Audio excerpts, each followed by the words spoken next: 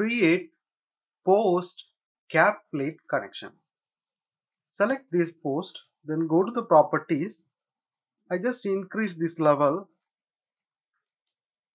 slightly increased like this. Then I go to the steel, select here beam, then make it here plate or cap plate.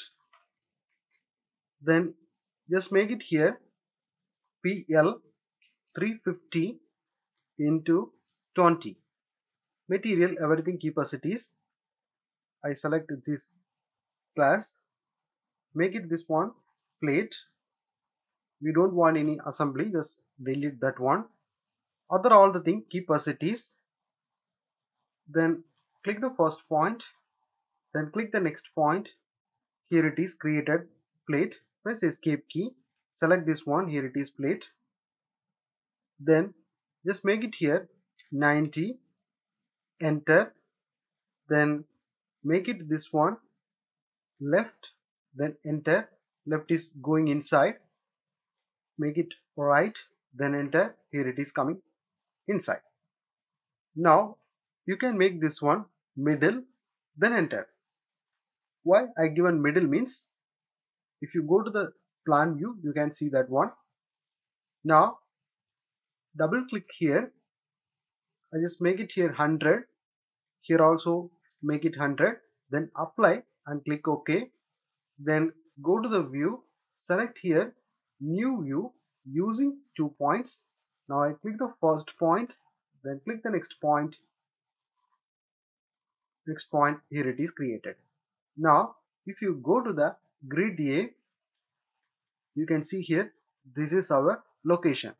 Once you create any view you will get it this mark for the location. Press escape key it will gone. Now you can see this is the location. Now we need to create bolt. For that go to the steel select here bolt then go to here make it standard M20 everything keep as it is. Now click the first part.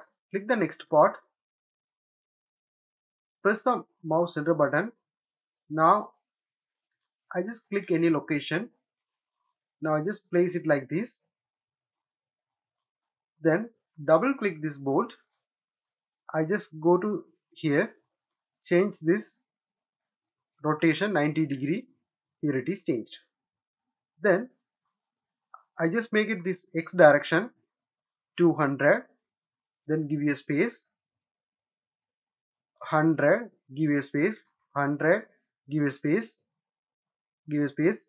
then 200 then simply enter. you can see here bolt is placed like this. now I just go to make it here. it is 150 then enter.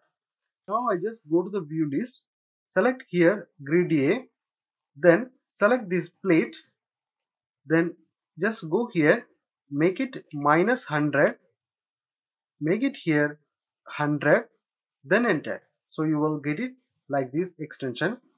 Then select this bolt right click move click this location and place it like this 50 enter. So now this connection is finished. Next go to edit select here fit part end select this line click this location click here here it is fit this part. Next go to steel select here weld click this post click this plate here it is created this connection. Now if you go to the inquire and select this assembly object now this one is completely one assembly if you need this same connection here select this full set then go to view select here work plane parallel to view plane. Now I just click here it is placed then right click copy special mirror click this location or you can click this any grid center also grid midpoint you can click like this and click here then go to copy expand you will get in the connection here. So both the place we created this post cap plate connection